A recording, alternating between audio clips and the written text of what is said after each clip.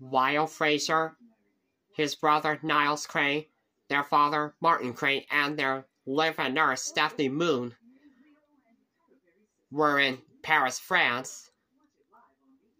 Where would they spend the night in Paris, France?